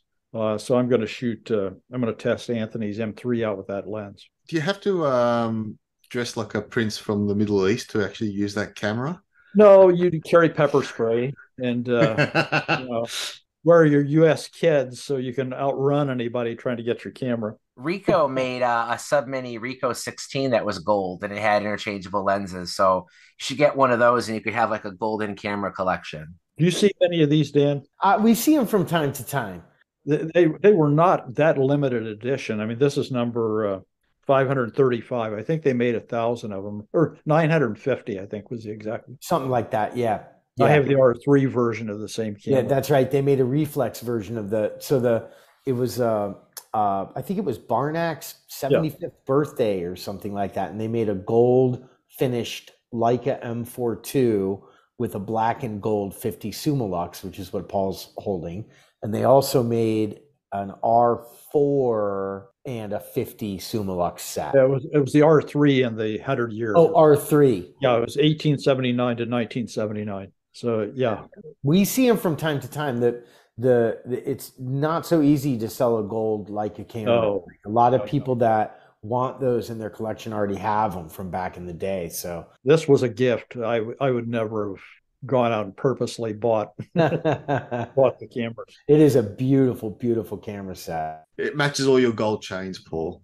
Yeah, my Mr. T starter kit. Yeah, matches all your all your bling. I'm yeah. Penny the Fool. All right. Well, well, Golden Leicas. Last time, Danny Ron, we talked about the hot pink Hello Kitty Leicas. So oh, yeah. uh, our our theme for this one are the golden Leicas, but I think that's a good spot to end the show. Dan, it is awesome having you on. Uh, I love having you on, not only for your Leica knowledge, but you're just an awesome speaker. People always always appreciate hearing you talk. I know I do. Uh, when when we were trying to select someone that we wanted to invite, I mean, you were like a unanimous decision. So um, Thank thanks so for much. coming on. Oh, it's a pleasure for the rest of the guys, like I said, we wanted to do an episode a little different from the past three where we could all just sort of sit around and do like coffee talk. So we spent a lot of time on auctions, but um, that was, I think, super informative. And I hope maybe some of the buyer beware stories might help someone listening to this show in the future. Anthony, were, you trying to say something? No, I'm just uh, listening for the, the, the distant drums that are, are calling for Mamiya for a future episode. Yes. So we've been kind of trying to figure out what we want to talk about for our next themed show. It seems like Mamiya is in the front running. We definitely want to do a Yashica show. I really had an idea of some special guests that we could have on that were Yashica experts, but so far haven't had much luck on it. Um, we, are maybe going to do something specific to the Kodak retinas. Did somebody say Aries? You know, maybe some of the lesser known Japanese companies. We one of the ideas we should do a panoramic show, but we spent the first third of this one talking about that. So maybe that will um maybe that will whet that appetite, you know. But if you're listening to this, if you're a member of the show and you guys like what we do, we absolutely love the feedback. We love it when people offer suggestions, but I can't say this enough. If you want to influence the discussions or things that we talk about, join us on the show. This was a closed episode. We did not post the link, um, but for the next one, we will. We will record on Monday, March 20th. For those of you in most of the world except Theo, daylight savings time begins next week. So for our friends in Australia and uh, I don't know, I think New Zealand's probably the same way. Um, it's going to be an hour earlier. And then the next show after that, you guys get out of daylight savings time. So that'll change it by an hour again, right? So he'll be two hours earlier than we normally do. That's correct. So so instead of being midday on Tuesday, the next episode will be at 11 a.m. on 11 a.m. Tuesday. Yep. So look for the uh, show announcement. We typically like to get that a couple days out before we record. You guys, thank you so much once again. Another awesome episode. I also also want to just quickly add that uh uh over on Instagram we have Camerosity underscore podcast and we very carefully try to uh come up with images of all the cameras that we've been talking about. So it can, you know, often it's just like a flow of model numbers and names that are going by. If you want to go back and see what we're talking about, uh, be sure to check out Instagram. Those also auto populate over into the Facebook group but it, it's been kind of unique in that we actually have very different audiences for the Instagram account and then for the Facebook group, and uh, we get some good comments going on both places. Uh, so if you want to see the cameras that we talk about, check us out on Instagram or join the Facebook group. Yeah, we're starting to get engagement from other sources too. This show is actually automatically published on YouTube, and I'm starting to even get some comments there too. So people are hearing us all over the place. Spread the word. Uh, some people call us the nerdiest film photography podcast, but you know we like to do stuff that's different, and we want to hear from you. We want to engage. We want to we want to keep the conversation going. So until next time, we'll see you guys later. Thanks. Good night, Dan. everybody. Thanks Thanks, again. All right. Good night. Take care. Bye.